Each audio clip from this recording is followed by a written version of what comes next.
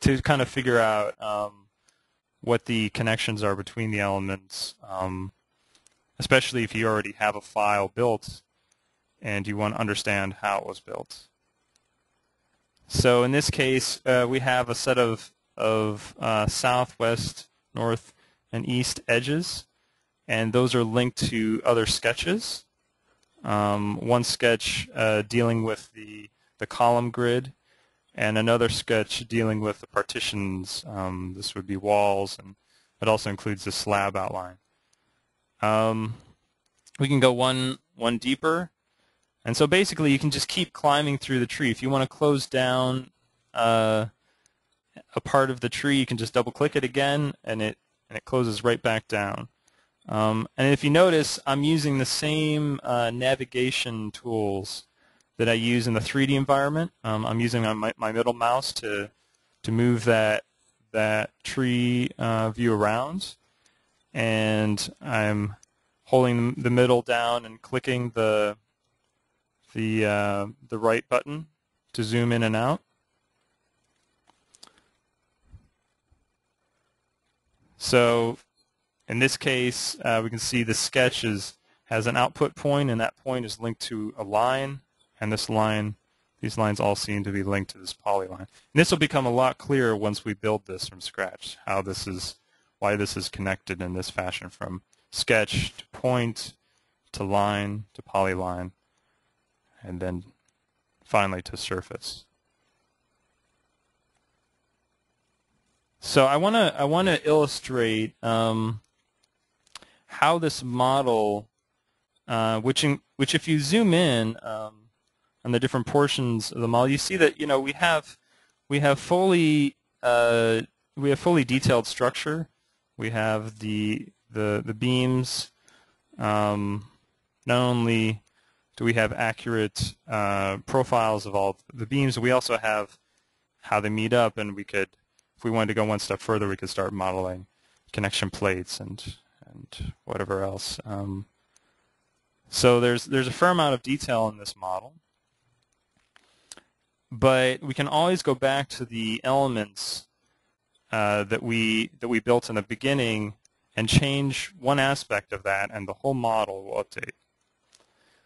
So um, I purposely used this model to demonstrate that because when you start getting into larger models, um, the update process, well, it may take a little longer than we have here. um, but just know that it's going through a lot of uh, complex geometric calculations to update this model. So what I'm going to do is I'm going to double click inside sketch 1 and I'm going to enter the sketch.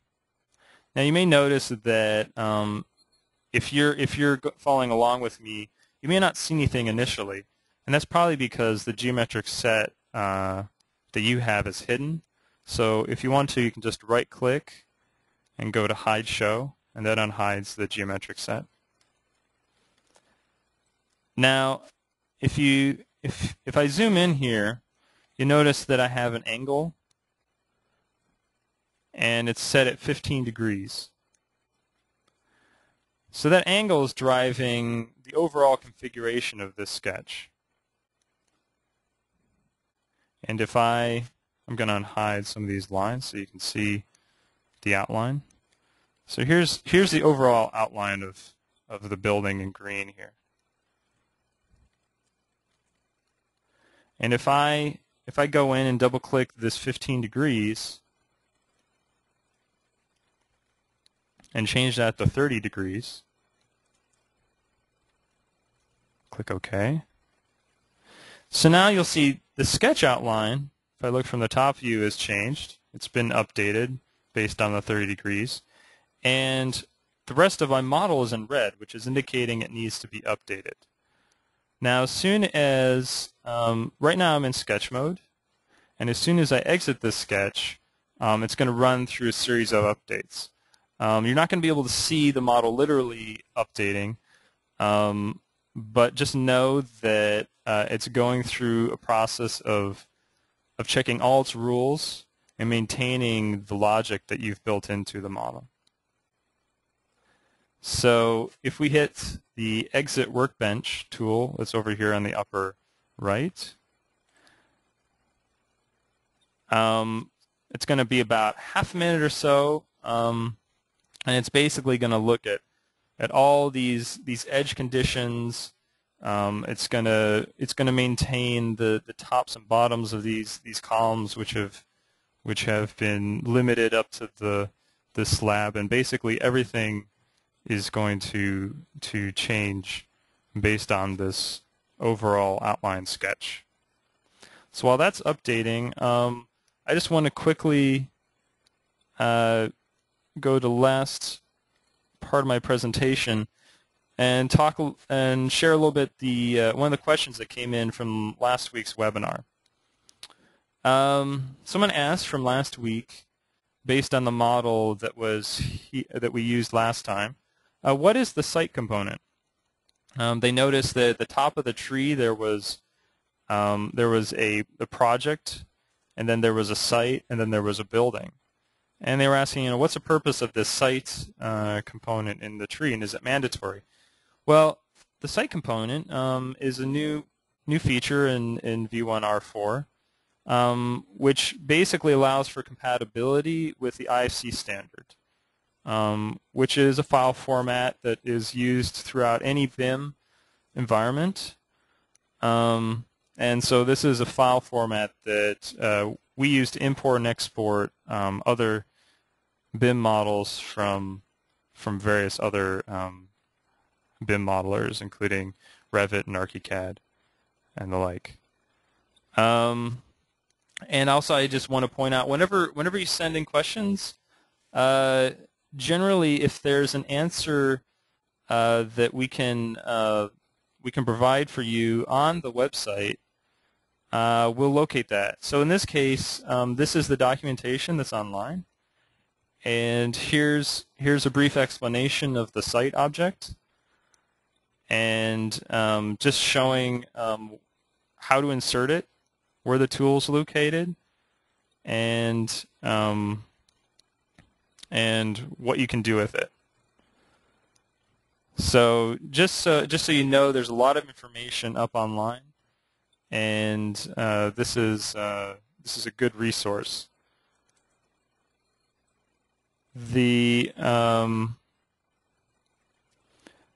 the document the documentation, uh, if you want to locate it, is is one way to to locate it is on the wiki. If you go to uh, under resources, there's a V1R4 documentation link and if you click that, um, it's going to ask you for your username and password. So you're going to have to have a login for the wiki um, to, to access the documentation. But once you do that, um, there's a lot of resources for, for questions uh, of that sort.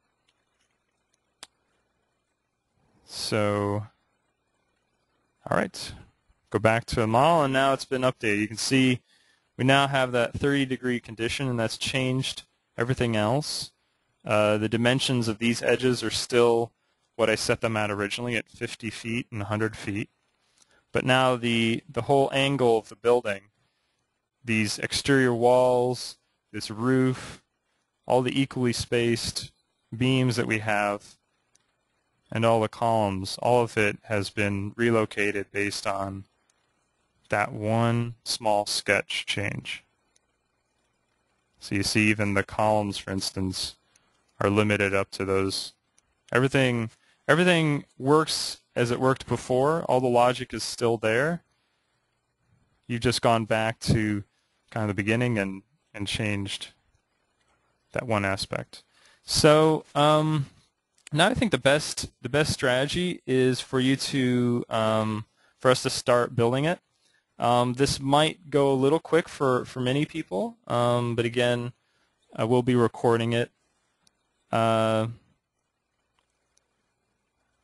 I'll uh, I'll put it up online very soon on YouTube, along with the the the recording from the first session. So um, let's start by going to File New. And scroll down to part. Um, if you if you're familiar with the interface, you can you can get to